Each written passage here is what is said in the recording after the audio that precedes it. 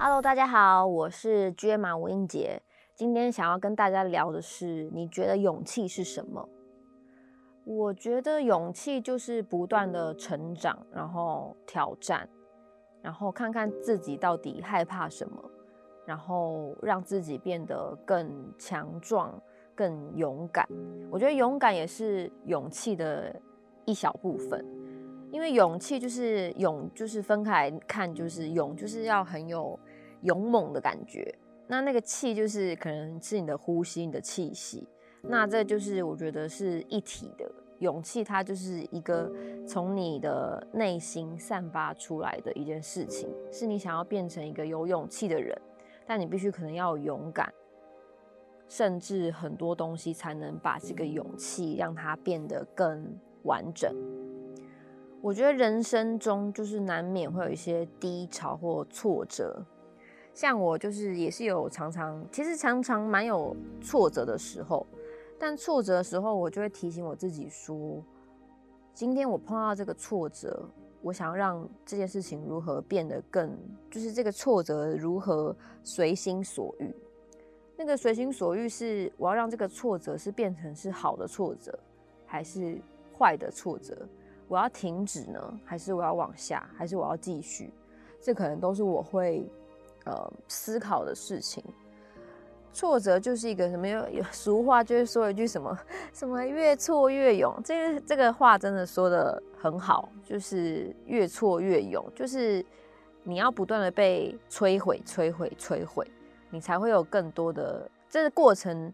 当你被摧毁一次，你想要再完成的时候，其实你就。获得了这个勇气，在这个过程中呢，我要怎么给自己力量？就是就是要催眠自己，说我可以，我一定可以，我没有什么不可以的。但这种催眠可能是真的，有可能是假的。但是如果你有催眠，我觉得就会成功这件事情。就是人就是一个不断可能碰到低潮就有挫折，然后挫折可能你碰到了，你就想要让它变好。那变好的时候，你就会有勇气。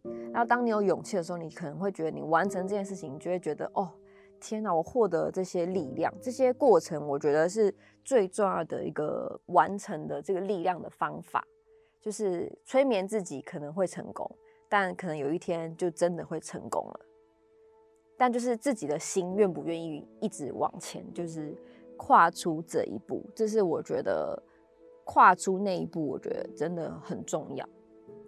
像我本身就害怕蟑螂，但是这个这个比较这种恐惧是比较比较好笑的恐惧，是因为蟑螂其实它很小，你到底害怕它什么？其实我到现在我一直觉得蟑螂比我还小，为什么我会怕？它只要轻轻一动，我就会整个觉得哦背脊发凉。用抓蟑螂这件事情来讨论勇气这件事情，其实可能很难聊，因为真的有些人就是对蟑螂就是。有一种莫名的恐惧，我到现在都还没有办法 突破这个恐惧。然后我就想说，因为我有看过一个新闻，说蟑螂一定要冲马桶把它冲下去，不然它会有一只，你家里有一只蟑螂，就代表你家里有千千万万只的蟑螂。我就因为这件事情，我真的一直都觉得我家有千千万只，可可能从小到大的蟑螂。我就打电话问我的朋友，我说怎么办？你可不可以教我说怎么办？它怎么它还在动哎？那我要怎么样？就是把这个蟑螂弄掉呢，我就拿了肥皂水。有人他们叫我拿发胶把它定住，它就不会动了。然后我就拿那个肥皂水浇它，但是浇它的过程中，它就是好痛好痛，我会觉得很残忍。我觉得我不能做这种伤，就是伤天害理的事。然后浇完之后，它就真的离开了。然后后来我拿起了，我提起了勇气，我连甚至连抓它我都真的很不敢。然后我就拿了五张卫生纸，这样把它抓起来，然后手伸的直直的，然后一路走到我家的厕所，把它丢到马桶里，把它冲掉。当下的我，我就觉得天哪，你很有勇气。但其实也不知道自己到底是觉得哪哪方面，就是觉得自己有勇气。其实我拿了五张卫生纸，所以这个蟑螂故事就是告诉我们说，其实没有什么真的不行的。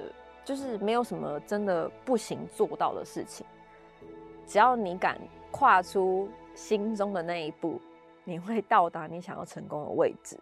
这是我觉得我从就是这个蟑螂的小故事，其实这是我最近的获得。就是虽然讲起来真的觉得蛮，我觉得蛮好笑，就是怎么会把勇气就抓蟑螂变成勇气这件事情，它就是一件生活很小很小很小的事情，但是我我是此时此刻我发现我要跟大家做这个勇气这一题的时候，我提起了这个故事，所以我希望大家可以像我一样，就是呃勇敢的跨出，我觉得不不不管是。步伐的第一步，或者是心中的第一步，只要一旦你跨出去，你就会知道，其实很多事情没有你想象中的那么的可怕，或者是难以实现。对这件事情也是有，还有另外一个勇气的小故事，是我的助理的故事。好，我助理昨天他参加了一个，就是因为他现在我让他来公司，就是跟大家一起上班。然后来唱片公司上班，然后唱片公司他们有一个非常好的行为，就是他们每个每周一的早上，他们要做一个分享的报告。然后我就问公司的同事说，为什么当初老板会有这样子的想法，想要让大家去做这个分享的报告？这个分享的报告呢，不局限，就是你想要分享说我刚刚抓蟑螂的故事也好，或是你想要分享哦，我今天有一天在路上踩到了大便。或是像呃，你想要分享说你做了什么检查，或是你看了什么新闻，呃，或者是你喜欢什么事情，都可以做分享。我的助理呢，就是他是一个非常害羞，然后动作又很慢。他现在正坐在我的对面，然后我在他这个身上，我在他身上，其实因为我还没有很细致的问过他这件事情的起承转合，但是我相信他在做这个分享的时候，他获得了勇气。但是我相信，在他的身上，他获得这份勇气是只有他获得的。就像我现在在跟此时在听我讲话的人说如何获得勇气，可能你有你自己想要获得勇气的呃方法，或是你觉得不是跨出那一步，你的勇气可能是后退那一步。所以我觉得每一个人怎么去定义你的勇气这件事情，你发自内心，我觉得想一想。在这想的过程中，你就会知道说，哦，原来，哦，我是这样获得勇气的。所以当下他，他好像完成了这个，他完成就是我那个助理，他完成了这个这个事情。我问他说，你要分享什么？其实他选了一个非常非常安全的事情，因为他住在北投，他选择他想要讲一些北投的一些呃文化，然后呃可以去哪里玩。这件事情是因为他从小在那边长大。他是最熟悉的，但他打了一个安全牌，但他心里一定突破那个防线，他越过去了。他越过去之后呢，他就会获得了勇气。就是我希望我身边的每一个人都是非常勇于去尝试很多事情的。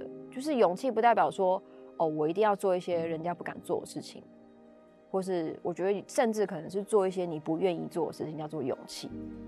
所以勇气这件这个片这个这个词就是非常的广，也非常的面向，也非常的，嗯，我觉得它的面向深不可测，就是不是你想象中是这样就是这样，是那样就是这样。